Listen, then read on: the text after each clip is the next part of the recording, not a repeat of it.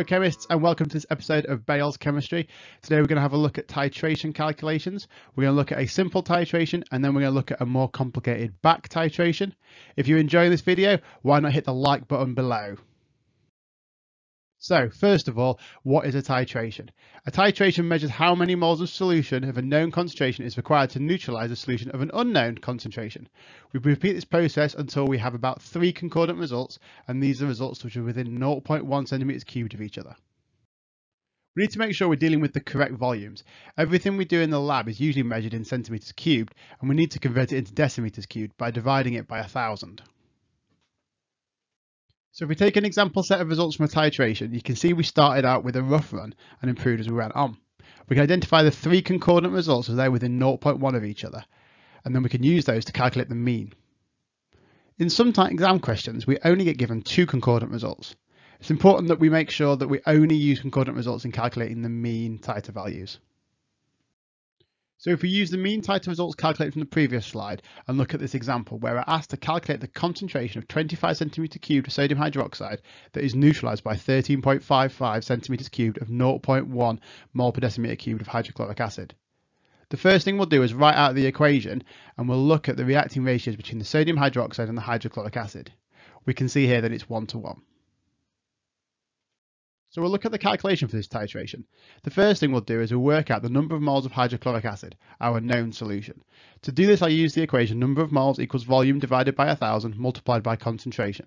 I've divided volume by 1000 because I'm going from centimetres cubed to decimetres cubed. I'll then put the numbers in, so I've now got 0.01355 multiplied by 0.1. This gives me 0.001355 moles of hydrochloric acid. If you remember from the previous slide, the number of moles of hydrochloric acid will equal the number of moles of sodium hydroxide.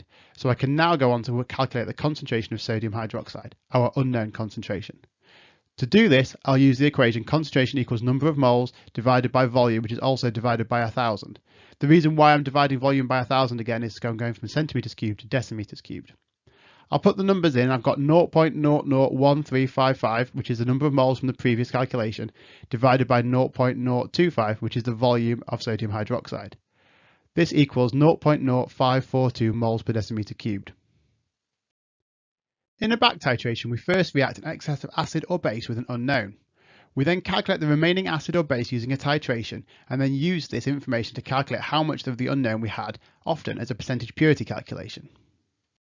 So if we consider this example of a back titration where 10 grams of impure calcium carbonate was reacted with an excess of hydrochloric acid, that unreacted hydrochloric acid was then neutralised with sodium hydroxide, and we're asked to calculate the percentage purity of the sample, we can break it down into four steps. In step one, we need to calculate the moles of unreacted hydrochloric acid using the titration data given in the question.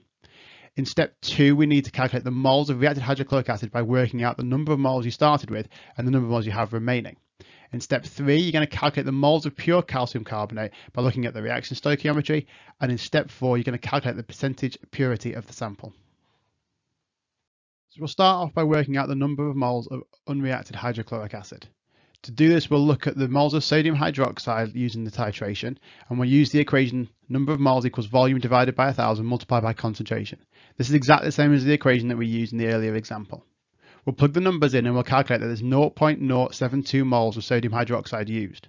We know that the number of moles of sodium hydroxide equals the number of moles of hydrochloric acid because of the reacting equation. So therefore, the number of moles of hydrochloric acid unreacted will be 0.072 moles. We'll now look at the moles of reacted hydrochloric acid. To do this, we'll calculate the moles of hydrochloric acid in excess at the beginning of the question. We'll use the same equation as before and we'll plug the numbers in to find there was 0.2 moles of hydrochloric acid before it reacted with any calcium carbonate. In the next step, we'll work out how many moles actually reacted with the calcium carbonate in the sample. To do this, we'll take the starting moles of hydrochloric acid, the one we just calculated, and we'll take away the remaining moles of hydrochloric acid from the previous slide. This will give us the number of moles that reacted with the hydrochloric acid overall.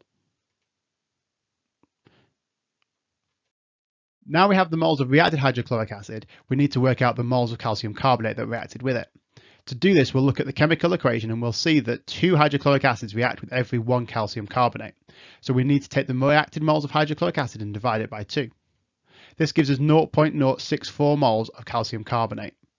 We're then going to turn this into a mass of calcium carbonate by multiplying that by its molecular mass. Its molecular mass is 100 and that gives us 6.4 grams. In the final step of our question, we're going to calculate the percentage purity. We're going to use the equation for percentage purity, which is pure mass divided by total mass multiplied by 100. We'll then plug in the numbers to find that the percentage purity of this sample is 64%. Hope you found that video useful and you can now understand how to calculate titrations and back titrations. If you haven't already, please subscribe to the channel and make sure you like this video. Thanks and have a great day.